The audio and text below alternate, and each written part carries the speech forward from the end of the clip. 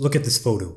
We are seconds away from an eruption of emotion. Embiid is about to burst into tears, Kawhi is about to finally show some emotion, and the rest are going to scream at the top of their lungs. But for now, all we have on these faces is anticipation. To explain this and what followed, we gotta go back a minute in time.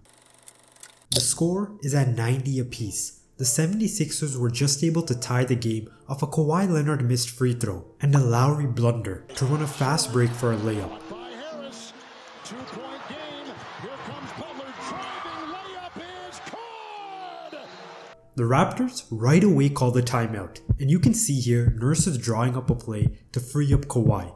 The Raptors come out of the timeout, advancing the ball with 4.2 seconds left on the game clock. They put Marc Gasol at the inbounding spot, as he's a great passing big and would have no problem getting the ball in as he's so tall and can see over everyone.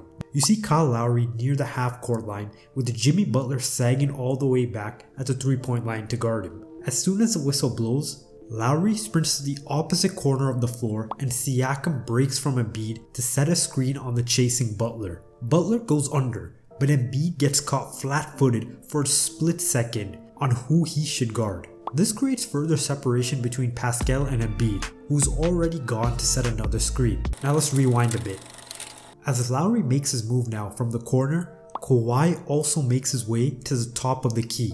He doesn't go straight for it, but slows down and angles himself in a way to force Simmons into the Pascal screen before darting away. He catches the ball and actually travels here, establishing his pivot foot as his right foot, but lifting it and putting it down again before dribbling the ball. 9 times out of 10 though, this isn't going to be called in this type of moment. Kawhi runs to the sideline and Joel picks him up. This prompts Ibaka to run away from his corner to clear space for Kawhi. If he didn't do this, his defender easily could have suffocated Kawhi in the corner. At this moment, Joel thinks Kawhi is going to shoot and he prematurely prepares to jump, but aborts it with a hop. As he's going down, Kawhi rises up. Joel mistiming his jump gives Kawhi enough time and space to release a high arcing shot, and we all know what happens next. Is this the dagger?